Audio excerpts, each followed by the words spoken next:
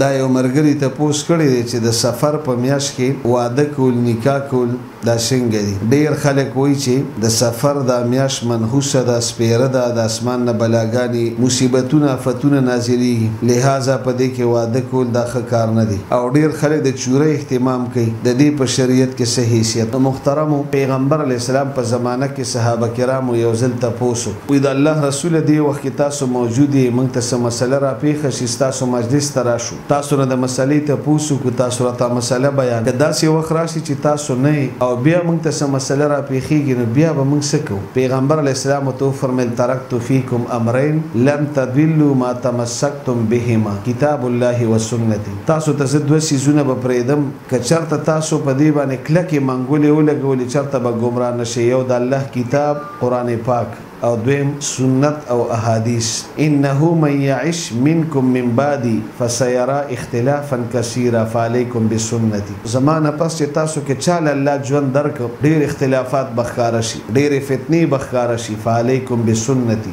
تاسو به زما په سنتو باندې کلک عمل کوئ لو ترکتم سنتی لضللتم که زما سنت هم پریښودل ګمراه به شئ سحقا سحقا لمن غیر بعدی. هلاکت ته بربادی ده چا چه زما نه پس زما سنتو کی تبدیلی راوسته یو کار ما نه دی کړی او دی د ثواب په نیت کوي او نسبت یې ماته کوي د دی کس لپاره هلاکت دی او بربادی ده د یو خبرې ما حکم نه دی کړی او یو کس یې کوي او په هغې کې د ثواب امید ساتي دی ته بدعت وایي دا د سفر باره کې چه دا کومې خبرې مشهورې دي نو دا اوسنۍ خبرې نه دي دا د جاهلیت په دور کې به دا خبرې مشهورې وې چه د سفر دا میاشت منحوسه ده سپېره ده، د اسمان نه بلاګانې نازلېږي، مصیبتونه نازلېږي، آفتونه راځي، لهذا په دې کې به واده نه کوئ، په دې کې به د خوشحالۍ اظهار نه کوئ، په دې کې به نور تقریبات نه کوئ، ځکه دا میاشت ډېره سپېره ده او یو دلیل کې به یې یو حدیث پېش کوو او د هغې نسبت به یې پیغمبر علیه السلام ته کوو، من بشرني بخروج سفر بشرته بالجنة، چې پیغمبر علیه السلام فرمایي چې چا ماله د سفر د میاشتې د ختمېدو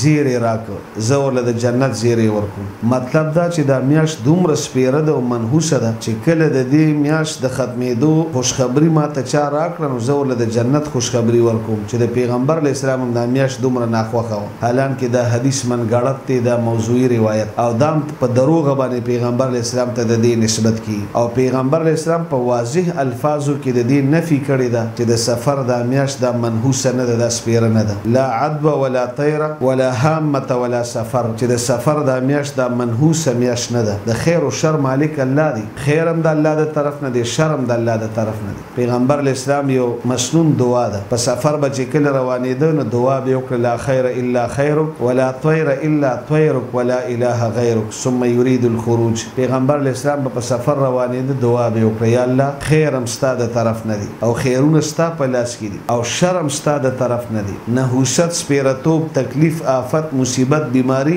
الله دا ستا د طرف نه دی. ولا اله غیره او د الله نه ماسیوا بل معبود، حاجت روا، مشکل کشا نشته، ټول نظام الله چلوي، نو لهذا د سفر دا میاشت منحوسه ګڼل دا د جاهلیت د دور خبرې دي، شیعه ګان چې دي نو هغوی په محرم کې او په سفر کې ودونه نه کوي، نو مسلمانانو له پکار دي چې دا رسم رواج ختم کړي، په محرم کې هم موږ تاسو ودونه کوو، په سفر کې هم ودونه کوو، د خوشحالۍ اظهار هم کوو، عبادات هم کوو، د معمول مطابق زندګي تیروو. بدقسمتي زموږ ستاسو دا ده چې دا څیز رو رو زیاتیږي، نسل در نسل دا څیز را روان دی او مکه خبرې زموږ مسلمانانو ته را منتقل شوې. اوس مسلمانانو کې خبره مشهوره ده، منحوسه میاشت ده او سپیره میاشت ده او آفتونه نازلیږي او مصیبتونه نازلیږي او په دې میاشت کې درنه میاشت ده، بار به ځان له نه وځي، څوک به ځان له نه پریږدي، د کور صفایانې زموږ مسلمانان نه کوي، وي غیب عالم بچیه چي، نو غیب عالم چا لیدلې دي، وي بچیه چي، او کور صفايي به نه کړې ځکه بچي به ورله مړه کړې بيا به درته نقصان رسي ښه د زنانو کتابونه دي کور کې به ماښام نه پس جارو نه وې د چارشنبې په ورځ به کپړې نه وينځي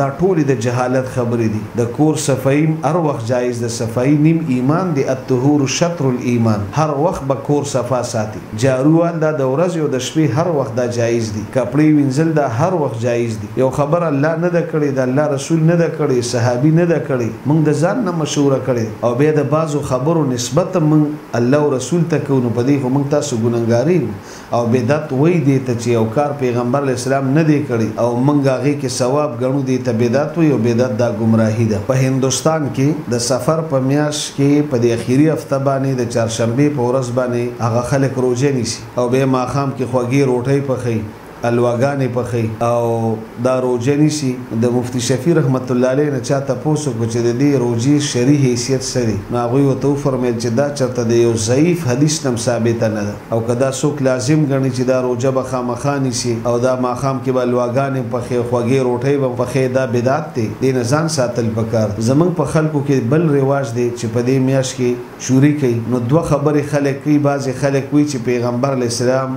بیمار شوی و او د صفر په میاشت کې په اخري هفته کې د چارشنبې په ورځ ورته صحت ملاو شو، غسل یې وکړ، نو عایشې رضی الله عنها د شکریې په طور باندې صدقه او خیرات وکړه نو لهذا موږ هم صدقه او خیرات کوو نو خلک شوري کوي څوک دیګونه پخوي څوک حلواګانې پخوي څوک مټیانې تقسیموي او ډیر خلک وایي چې پیغمبر علیه السلام د صفر په میاشت کې په دې اخیري هفته باندې د چارشنبې په ورځ باندې بیمار شو نو یهودیانو د شکریې په طور باندې او د خوشحالۍ په طور باندې صدقه او خیرات وکړ نو ډیر خلک په دې اخیري هفته کې د چارشنبې په ورځ باندې صدقې کوي خیراتونه کوي څوک چوري کوي، څوک دېګونه پخوي، څوک مټیانې، الواګانې تقسیموي، دا دواړه خبرې من ګړت دي، د دې په قرآن حدیث کې هیڅ دلیل نشته دي، که څوک دغه ورځ باندې دا روژه نیسي